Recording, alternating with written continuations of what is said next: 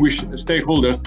I'm really pleased to to uh, to see all of you today um, as we launch this expanded empowerment uh, program for women and youth across these five communities in Nigeria. It is my pleasure on behalf of the company, on behalf of Nigerian Breweries PLC, to launch officially now this special program that will support the fulfillment of the aspirations, uh, the livelihoods, and help our country move forward. I would like to thank the management and staff of Nigerian Breweries PLC for putting this empowerment program together for the benefit of the host community.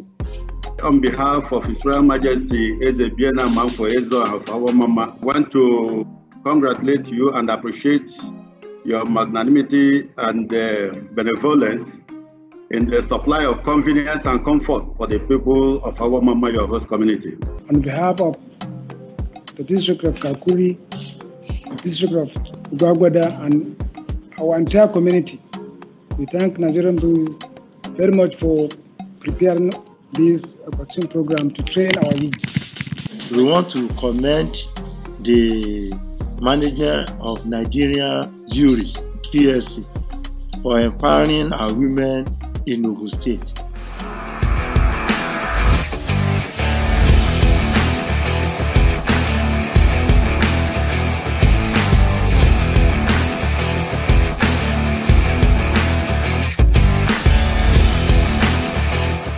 Today, as we congratulate the graduates and present them with startup tools required in their chosen skill areas,